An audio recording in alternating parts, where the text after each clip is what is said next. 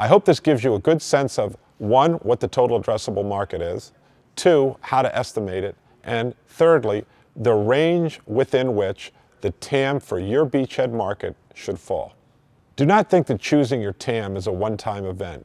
You will likely revisit and modify this calculation as you progress and learn more. Determining your TAM is a fundamental part of creating a successful product or service.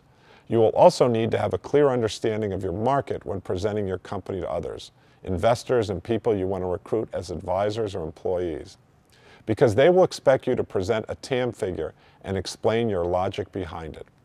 Don't worry about whether it's a precise number. Usually it's a range, but you must understand how you got there. However, do not spend an inordinate amount of time just on the TAM calculation itself. There are other factors that will influence your success in your choice of beachhead markets.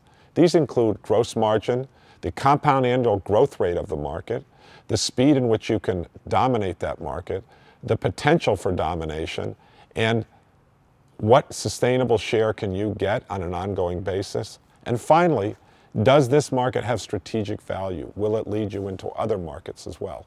Now we're going to turn this over to you. You've already done your market segmentation, you've selected your beachhead market, and built your end user profile. Now let's find out what your TAM is. Estimate the number of end users in your beachhead market.